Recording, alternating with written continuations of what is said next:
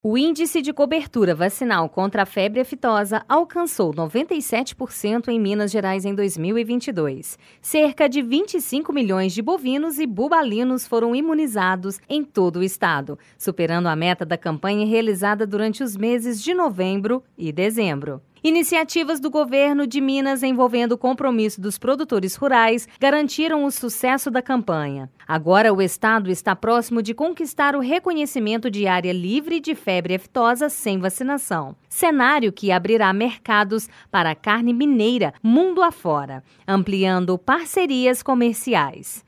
De acordo com o diretor-geral do IMA, Antônio Carlos de Moraes, o reconhecimento nacional e internacional como livre de febre aftosa sem vacinação será uma grande conquista para o agronegócio, pois impactará positivamente todas as cadeias produtivas do setor, além da de bovinos. Ainda segundo o diretor do IMA, um estado protegido sanitariamente restringe focos e ameaças de doenças, além de favorecer a abertura de mercados para carne e outros produtos. Ainda não há data prevista para Minas alcançar o novo status sanitário. Porém, Minas Gerais se prepara para uma nova fase de vigilância sanitária para a febre aftosa.